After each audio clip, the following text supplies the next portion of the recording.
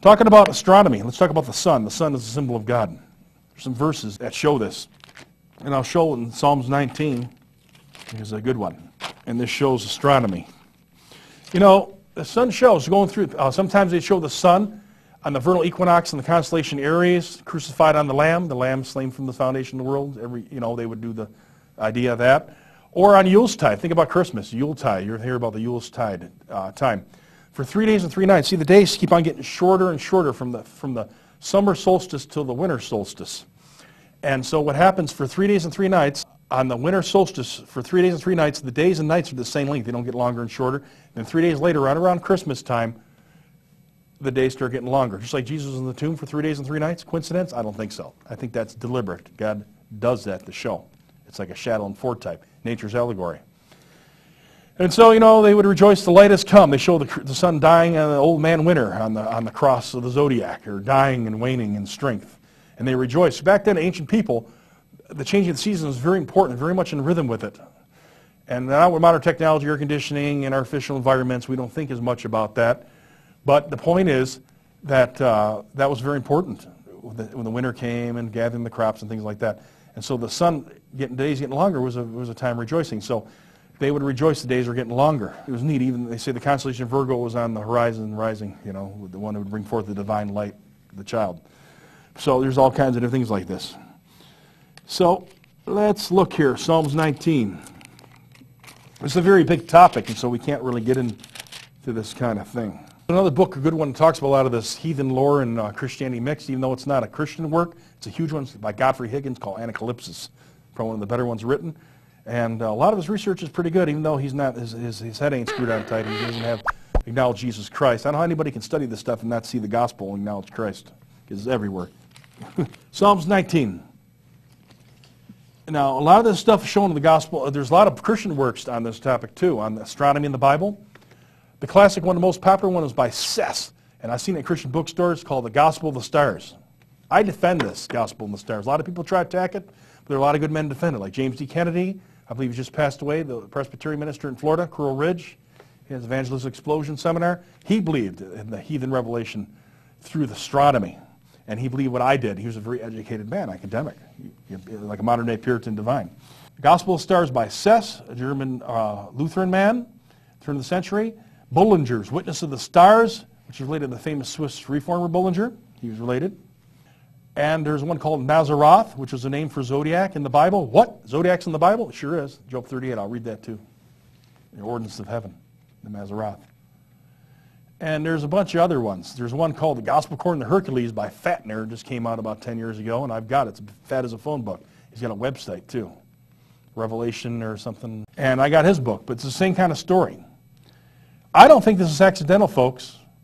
There's a mystery here. That's the mystery of the cross, okay? And don't let anyone tell me that I'm a pagan. I do not worship nature. I do not worship creation. But I see truth where God has revealed it. And I don't reject truth because some pagan twisted it or doesn't acknowledge the truth of it. Okay?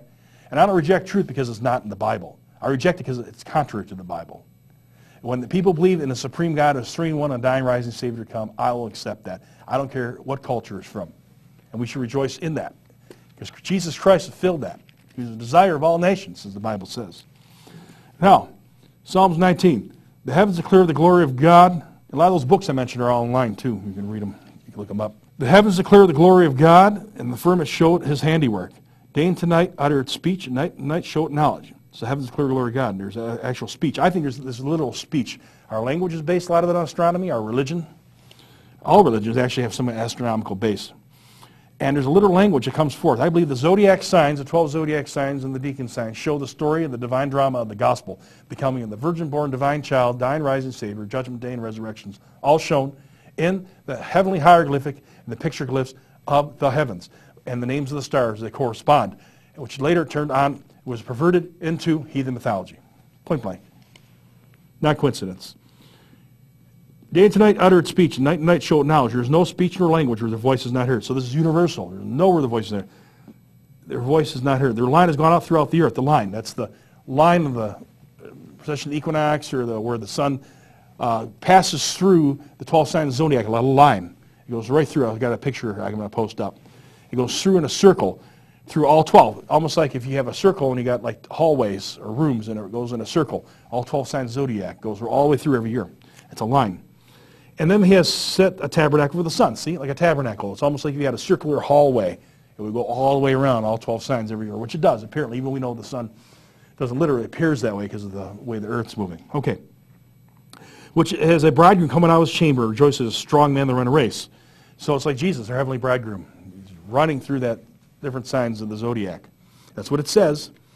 A strong man to run a race. It even had pictures in the uh, Buddha with swastikas on the bottom of his feet. That's a symbol of the sun, by the way. One of the ancient symbols of the sun was also a swastika, of all things, a symbol of light and life.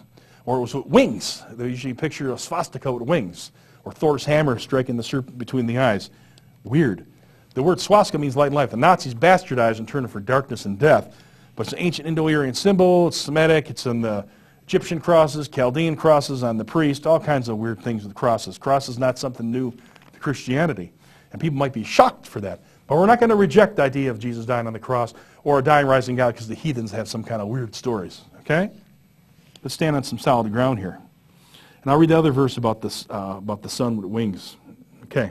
The light has gone out throughout the earth, and the words until they said, tapping out for the sun, which is a bridegroom coming out of the chamber, as as a strong man that run a race. His going forth is from one end of the heaven and a circuit to the ends of it. There's nothing hid from the heat thereof, just like the sun goes through.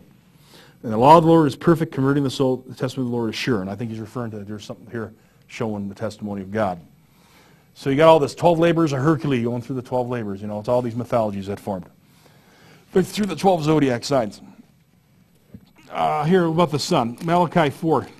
But you that fear, 4 verse 2, but you that fear my name shall the Sun of Righteousness, S-U-N, not S-O-N, That some people use this for symbol of Christ. Sun of Righteousness, even some hymns, Sun of Righteousness is in there. Sun of Righteousness, arise with healing in his wings, shall go forth, grow up as calves of a stall, and that you shall tread down the wicked, for they shall be ashes on the soles of your feet, and that day I shall do this, said the Lord of hosts. Sun with wings, that was a symbol of the swastika. Weird. Egyptian sun disk, overcome with wings you know, the Ankh of the Egyptians, Ansata, the symbol of life, the Syrian sun disk, a lot turned into pagan gods and things like that. Okay, but there we got it. Pretty weird. It's in the Bible. Sun with wings. That's a swastika. I'm not no neo-Nazi, I'll tell you that. What? You're saying that Jesus is the swastika, the sun with wings? Well, that's what it sounds like. He's son of righteousness. Okay. The sun with wings. That was a symbol of the Druidic uh, Holy Spirit would descend, and the sun with wings was called Awen. And it was usually drawn, if you see in Apollo's, I wish I had a picture of it, uh, Apollo on a sun chariot, who would have a, a circle disc with a swastika in the middle with wings. The swastika, all things a Nazi symbol, oh God forbid, was a symbol of the sun and the sun god. And it was symbol of the chariot of Apollo going through the zodiac signs throughout the year. Now, Genesis 1. No, where in the Bible say that God made the stars for signs and for seasons and things like that? Come on. There's no zodiac signs. Well, let's look. Genesis 1, verse 14. God said, Let there be lights in the firmament of the heaven to divide the day from the night. Let them be for the signs, for the seasons, and for the days and the years. First, let them be for signs. There, zodiac signs.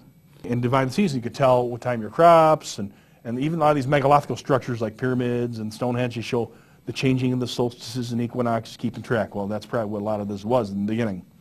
And it turned superstition there's even books written about, you know, Stonehenge Bonnie Gaunt show the gospel in Stonehenge or the pyramid decoded and things like that. I believe that stuff, but I don't want to get into that.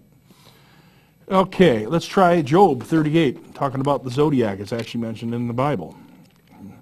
So, you know, these kind of things. Job 38.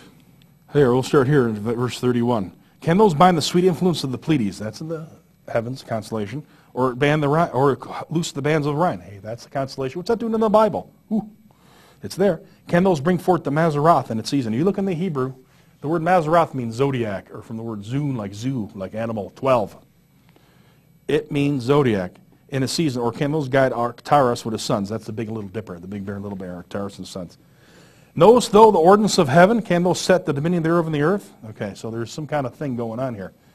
And I read in Psalms 19, if you look here, I'm going to make a reference here, go back. I'm going to compare something here. I'm going to show, I believe Paul's referring to a reference given to mankind, to the heathen, that is shown through, uh, it's relating, quoting from verse, Psalms 19. And we're going to go to Romans 10.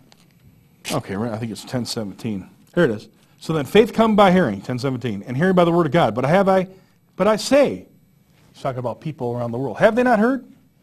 Yes, verily, their sound went to all the earth, and their words into the